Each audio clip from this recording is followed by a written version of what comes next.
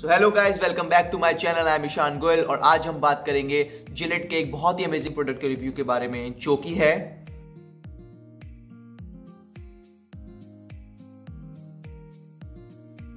सो so, सबसे पहले हम बात करते हैं जिलेट हाइड्रा जेल की।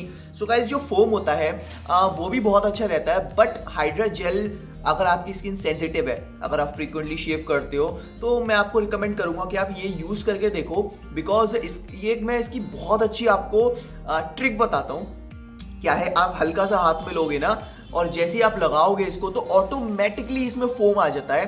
वैसे इसमें आ, मैं आपको दिखा देता हूँ ये कैसा है। ये देखो अब ये ऑटोमेटिकली फोम में कन्वर्ट हो जाएगा। देख रहे हो आप?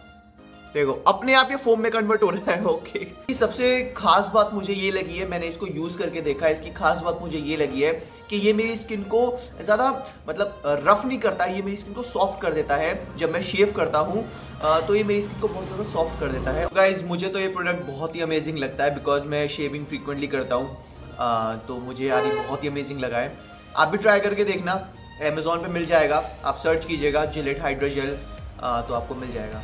एंड uh, अब हम बढ़ते हैं अपने नेक्स्ट सेट की तरफ़ जो कि है हमारा।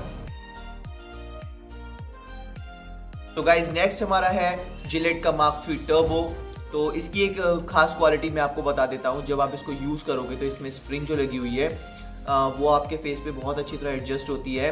मोर ओवर इसके जो ब्लेड्स हैं स्टेनलेस स्टील के वो आपकी स्किन पे इस तरह के स्मूथली जाते हैं कि आपकी शेविंग बहुत ही अच्छी होगी। आपको सैलॉन जाने की ज़रूरत ही नहीं है। इन दो प्रोडक्ट से आप घर पे ही शेविंग कर सकते हैं। सो so, ये थे रिव्यूज़ इन दोनों प्रोडक्ट्स के। अगर आपको अच्छे लगते हैं तो अमेजोन पे जाओ खरीदो। नहीं तो जिलेट की वेबसाइट का लिंक मैं नीचे दे दूँगा डिस्क्रिप्शन में तो आप देख लेना। भाई सब्सक्राइब कर दीजिएगा बिकॉज़ इसी तरह के प्रोडक्ट्स का रिव्यू और भी आने वाला है। तो अगर आप सब्सक्राइब कर देंगे तो आपको नोटिफिकेशन मिलते रहेंगे मेरी न्यू वीडियोस